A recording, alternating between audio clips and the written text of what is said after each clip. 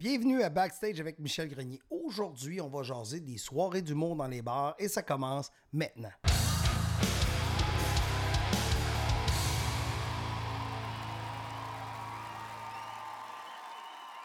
La plupart des humoristes que vous connaissez aujourd'hui ont débuté dans les bars, dans les cabarets, et je vais tenter de vous expliquer un peu les petites erreurs, les petits trucs pour organiser une soirée d'humour dans les bars. Il faut savoir qu'il y a quatre types de soirées d'humour. Premier type de soirée d'humour, c'est les soirées qu'on appelle de rodage. C'est quoi une soirée de rodage? C'est un humoriste qui a vraiment une idée, c'est pas encore hein, tout à fait au point, il décide qu'il va aller redescendre quelque part, il va être payé un salaire qui est très minime, pratiquement juste son déplacement, mais il peut faire ce qu'il ou ce qu'elle veut. La plupart des soirées de rodage sont sur l'île de Montréal.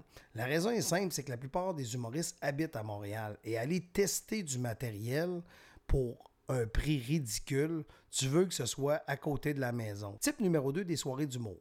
Ce format-là, c'est ce qu'on peut dire la soirée classique. Le classique, c'est-à-dire un animateur, deux premières parties qui font environ 10 à 12, 15 minutes chacun. On prend l'entraque. Au retour d'entraque, on a la tête d'affiche qu'on appelle le headliner qui va faire normalement de 30 à 45 minutes.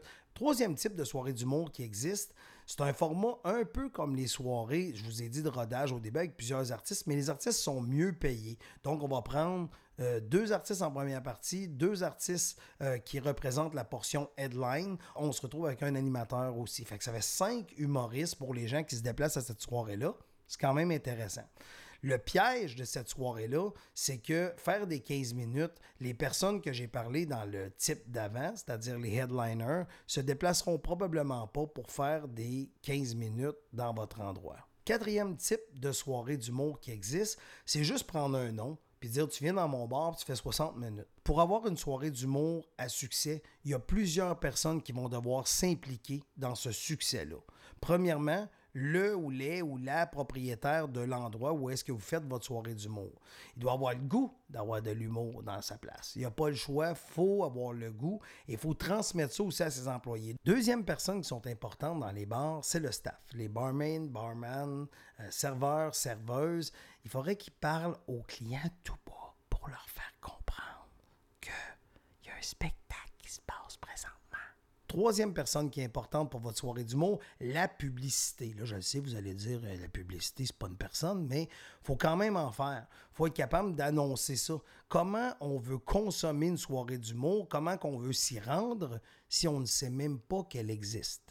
Quatrième personne qui est importante dans une soirée d'humour, l'animateur ou l'animatrice de la soirée. L'humoriste que vous allez choisir pour faire le lien entre vos clients à toutes les semaines. Il faut que ce soit quelqu'un que les gens se sentent impliqués. Il faut que ce soit quelqu'un que les gens sentent que s'ils ne vont pas à votre endroit cette semaine, ils vont le ou la décevoir. Il faut être conscient de l'environnement faut être conscient que le soir, exemple, vous prenez un mardi pour organiser votre soirée du monde. Ah, c'est les soirées au cinéma que ça coûte le moins cher. Donc, vous êtes, vous êtes en compétition contre le cinéma.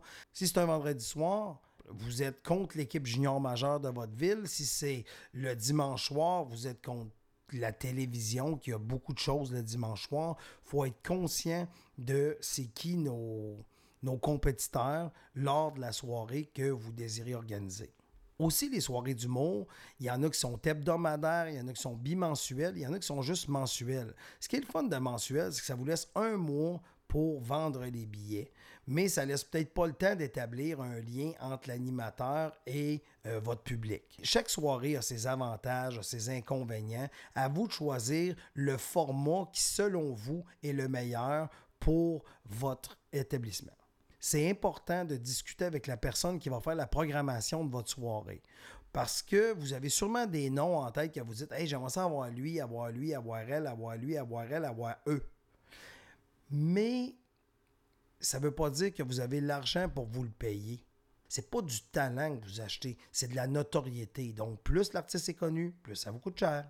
Aussi, je m'adresse encore une fois aux propriétaires euh, de cabarets, de bars et établissement qui aimerait recevoir une soirée d'humour, c'est important de bien recevoir euh, les humoristes parce que là, ils sont peut-être pas connus, mais un jour, ils vont dire Hey, quand j'allais jouer là, c'était tellement le fun, on était bien reçus. C'est bon d'établir des bonnes relations avec les humoristes, les artistes qui vont passer vous voir dans votre établissement.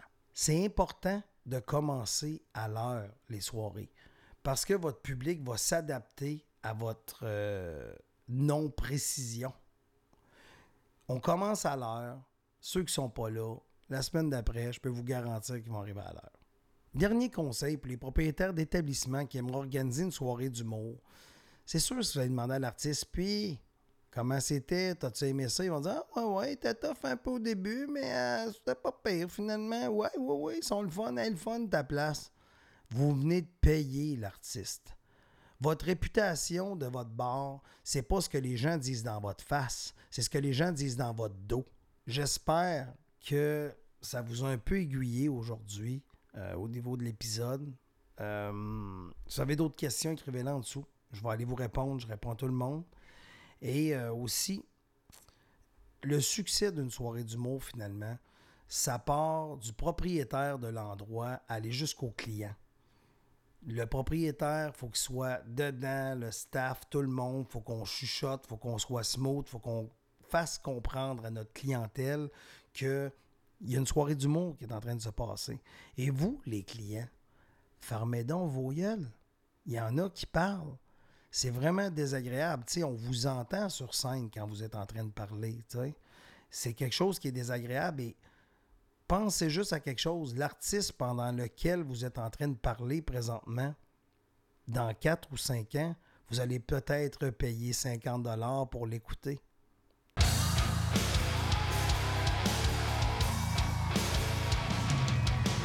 C'est la fin.